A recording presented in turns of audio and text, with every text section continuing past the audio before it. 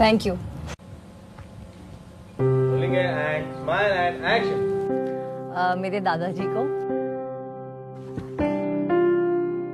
Thank you भैया। मुझे भी अपने बराबर समझने के लिए।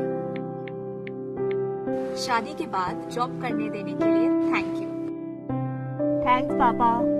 मुझे आगे पढ़ने देने के लिए। मेरी नाइट शिफ्ट पर उंगली ना उठाने के लिए। थैंक यू दादाजी।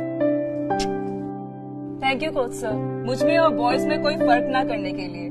पर ये तो तुम्हारा हक है ना?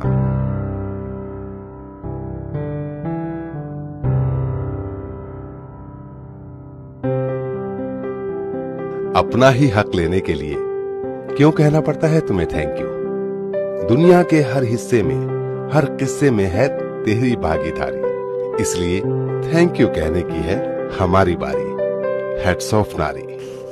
हैट्स ऑफ़ नारी हैट्स ऑफ़ नारी